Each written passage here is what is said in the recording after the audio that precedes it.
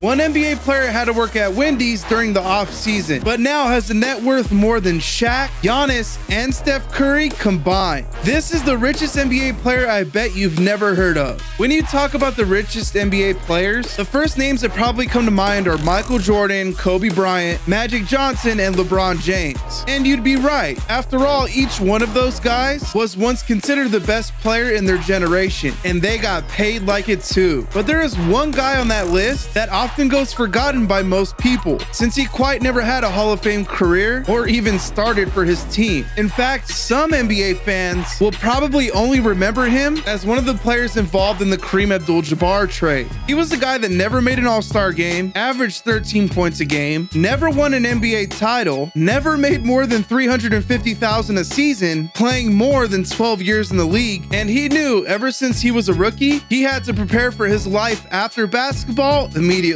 So he started to go to law school while also working at a local Wendy's during the off season. Okay, we gotta be honest. Our mystery guy technically didn't need to work at Wendy's because he needed the money. No, he just wanted to learn firsthand how to properly run and manage a fast food restaurant. Eventually, all that hard work paid off. What made his achievement even more impressive was how he managed to earn all his money outside of sports and endorsement contracts. His name is Junior Bridgeman, and by the time Bridgeman retired, he had three Wendy's franchises to his name that each cost around a million dollars. But turns out that was only the beginning. Since Bridgeman finally had more time to dedicate to his business, his net worth began to skyrocket. He became the second largest Wendy's franchise holder in the entire world and also owned over 100 branches of Chili's restaurants at one time. But if you think that's the only business that helped Bridgeman earn his $600 million net worth, you'd be wrong. In 2016, Bridgeman actually sold all of his fast food chains to become a bottler for Coca-Cola in the US and Canada. Then in 2020, he bought Ebony and Jet magazine through his sports media company. But let's also give a little bit of recognition to Bridgeman's basketball career as well. His number two jersey was actually retired by the Bucks in 1988, just a year after he announced his retirement. So the next time you order food in any fast food restaurant, be careful careful with what you say. The man behind the counter cleaning tables or flipping burgers might turn out to be one of the richest people who ever played in the NBA.